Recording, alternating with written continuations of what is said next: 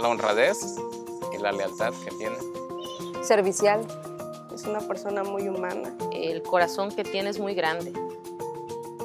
Soy el tercero de, de cinco hermanos.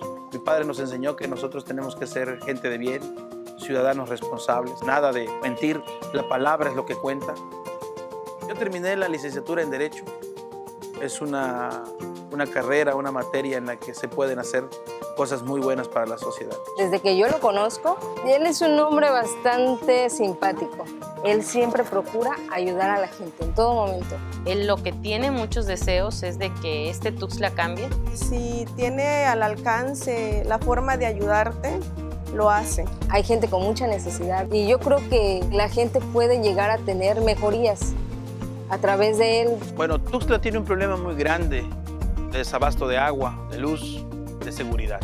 La seguridad nada más la tienen unos cuantos. La seguridad es para todos los tuxtlecos, para todos los ciudadanos. También vamos a trabajar con la equidad de género. Queremos que los hombres y mujeres tengan el mismo derecho, que ambos tengan las mismas oportunidades, pero que realmente esas oportunidades se puedan llevar a los hogares. Vamos a trabajar con las agendas ciudadanas.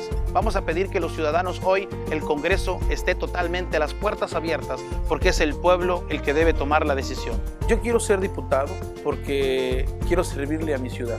Hoy el reto más grande es que la gente vea que Manuel Mandujano sí tiene el deseo, la fuerza para poder ser. Para conquistar nuestros sueños, primero hay que reconquistar nuestros derechos.